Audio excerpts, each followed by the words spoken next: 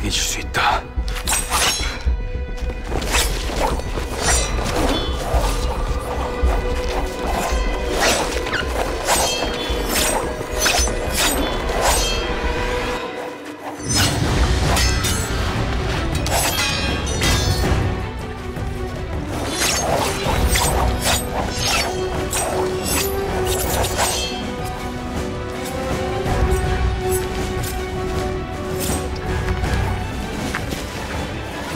강지가 동작이 바뀌었네.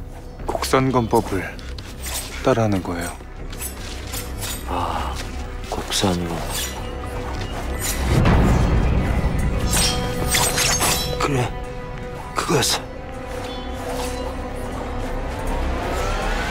아, 뭐야 여기서 아이고 삼봉 어르신이 다들 모이라는데 아무래도 방언도령님 때문에 그런 것 같아. 지금 장터에서 방언도령님 처형하라고 난리잖여.